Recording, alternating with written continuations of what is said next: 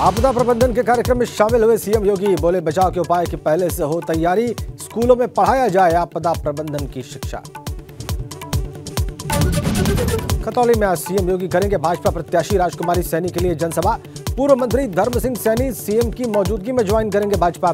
CM की सभा को लेकर सभी तैयारियाँ पूरी।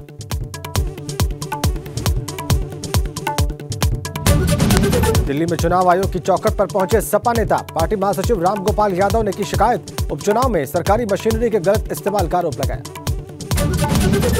लखनऊ में शिवपाल यादव के सरकारी आवास पर मंडराए संकट के बादल। आवास का आवंटन हो सकता है रद्द। सरकारी आवास पर चलता है प्रसपा का कार्यालय।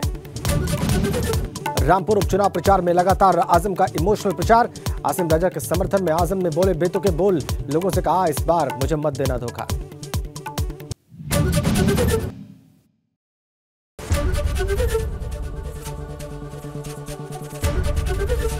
एबीपी गंगा खबर आपकी जुबा आपकी।